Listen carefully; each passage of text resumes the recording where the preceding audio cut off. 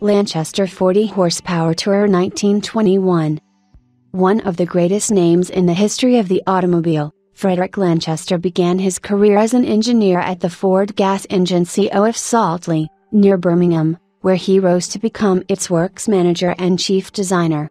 He patented a pendulum inertia governor while there, and would go on to file a further 425 patents in the course of a remarkably inventive life. With his younger brother George taking his place as works manager, Frederick began experimenting with small gasoline engines.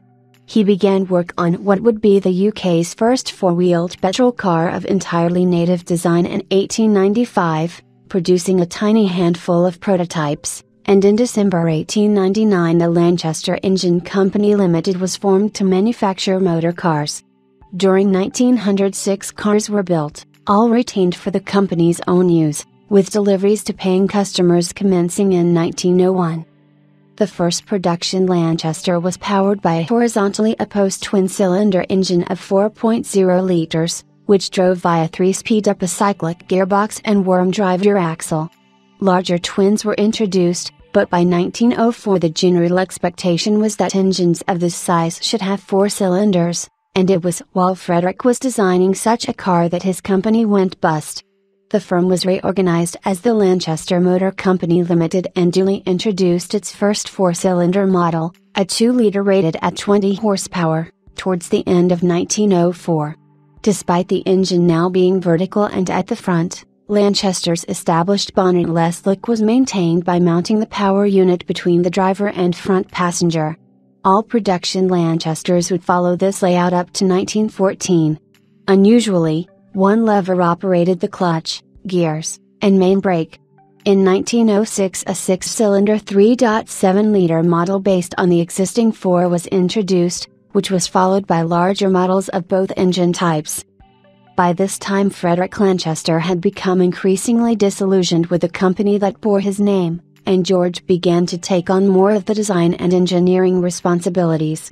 With bonneted cars now established as the norm, the bluff-fronted Lanchesters were looking increasingly old-fashioned in appearance, and in 1913, at the director's instructions, the first conventional design was introduced, the Sporting 40, which was the first Lanchester designed by George.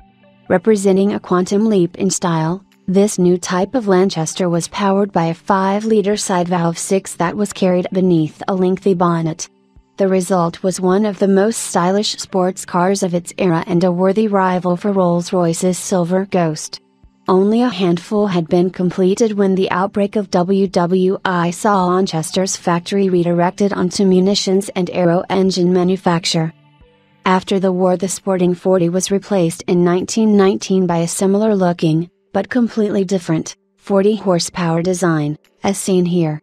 Lanchester's new 40 boasted a 6,178 cc six-cylinder overhead camshaft engine driving via 3-speed epicyclic gearbox and worm final drive.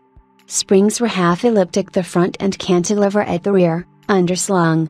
Like its pre-war forebear, the new 40 was very fast and, when new, a very expensive car in the Rolls-Royce class.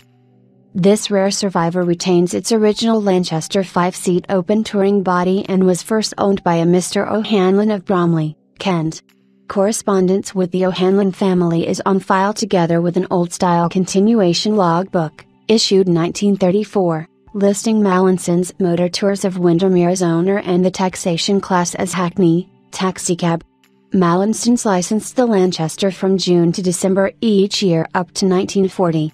The car was then stored by the Bradshaw family of Preston until June 1970 when it was purchased by the late Graham Pilmer Bedford from a Mr. Terence Talbot of Lytham St Anne's for the sum of 800, receipt on file.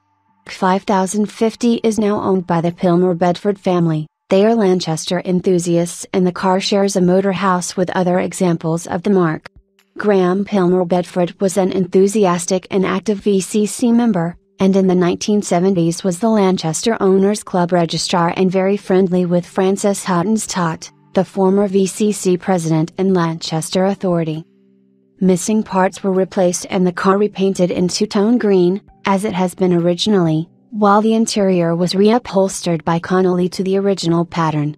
Mechanically refreshed, 5050 was back on the road again in 1971 and has been in regular use ever since, taking part in the Golden Jubilee Rally and mini tours.